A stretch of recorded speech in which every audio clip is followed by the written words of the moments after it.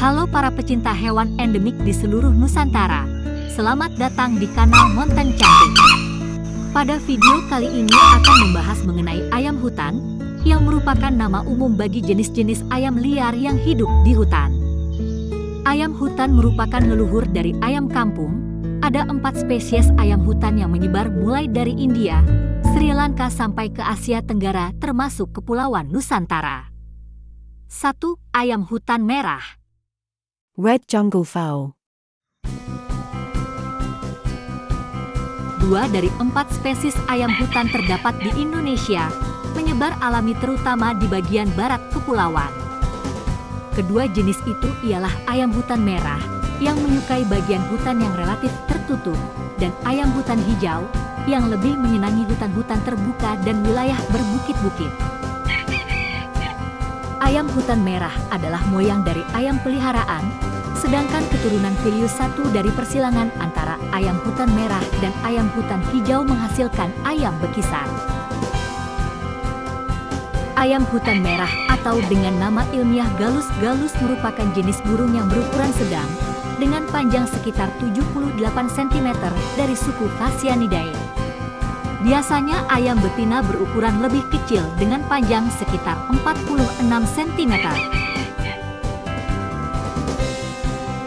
Ayam hutan jantan memiliki bulu-bulu leher, tangkup, dan mantel yang panjang meruncing berwarna kuning coklat keemasan dengan kulit muka merah, iris coklat, bulu punggung hijau gelap, dan sisi bawah tubuh berwarna hitam gelap. Di kepalanya terdapat jengger bergerigi dan bergelambir berwarna merah. Ekornya terdiri dari 14-16 bulu berwarna hitam hijau metalik. Dengan bulu tengah ekor yang panjang dan melengkung ke bawah, kaki berwarna kelabu dengan sebuah taji. Ayam betina memiliki kaki tidak bertaji, bulu yang pendek, berwarna coklat tua kekuningan, dengan garis-garis dan bintik-bintik gelap. 2. Ayam hutan hijau Green jungle fowl. Ayam hutan hijau atau dengan nama ilmiah Galus varius adalah nama jenis burung yang termasuk kelompok unggas dari suku Phasianidae, yaitu keluarga ayam, puyuh, merak, kuau, dan sempidan. Ayam hutan ini juga diyakini sebagai nenek moyang ayam peliharaan yang ada di Nusantara.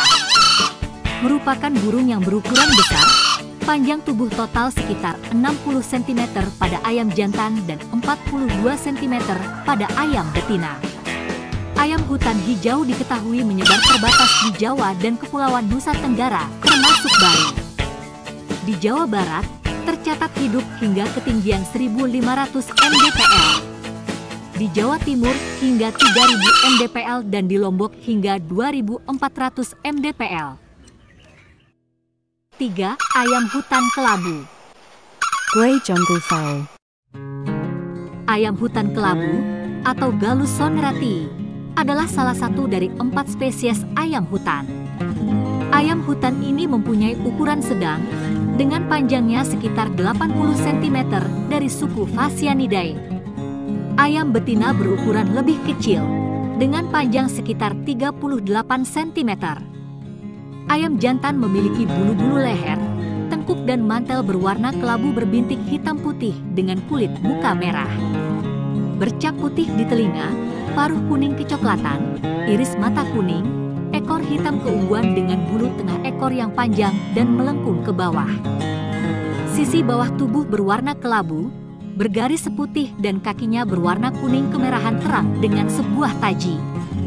Ayam betina memiliki kaki tidak bertaji, bulu-bulu yang pendek, berwarna coklat tua dengan bulu-bulu seperti sisi berwarna putih kecoklatan di bagian sisi bawah tubuhnya. Ayam hutan kelabu tersebar dan endemik di hutan tropis bercuaca kering di India bagian tengah, barat, dan selatan. Ayam betina biasanya menetaskan antara 3 sampai 5 butir telur berwarna putih atau putih kemerahan yang dierami oleh induk betina selama kurang lebih 3 minggu. 4. Ayam hutan Sri Lanka Ceylon jungle fowl. Ayam hutan Sri Lanka, yang juga dikenal sebagai ayam hutan Thailand dengan nama ilmiah Galus lafayette, adalah anggota ordo burung yang endemik di Sri Lanka. di mana hewan ini dijadikan burung kebangsaan bagi negara ini. Ayam hutan Sri Lanka berkerabat dengan ayam hutan merah atau galus-galus yang dianggap sebagai leluhur dari ayam ternak di dunia pada hari ini. Nama binomial dari ayam ini diambil dari bangsawan Prancis Lafayette. Dalam bahasa Sinhala, ayam ini dikenal dengan nama Wali Kukula, sedangkan dalam bahasa Tamil dikenal dengan nama Ilakai Kuki. Sebagaimana ayam hutan lainnya, ayam ini memiliki perbedaan mencolok menurut kelamin. Jantannya jauh lebih besar daripada betina dengan warna bulu yang lebih cerah dan pial serta jengger yang jauh lebih besar. Panjang jantannya beragam antara 66-72 cm. Betinanya berukuran lebih kecil, hanya memiliki panjang tubuh 35 cm dan berat 510 sampai dengan 645 gram. Dengan bulu kusam berwarna coklat dengan corak putih di bagian dada serta perut bagian bawah yang berguna untuk membantu kamuflase saat bersarang. Jantannya memiliki bulu tubuh berwarna merah atau jingga, sementara sayap dan ekornya berwarna dari ungu ke hitam. Bulu surainya berwarna keemasan dan memanjang turun dari kepala ke tulang belakang. Kulit muka dan pial ayam ini berwarna merah terang. Jenggernya berwarna merah dengan bagian tengah kuning.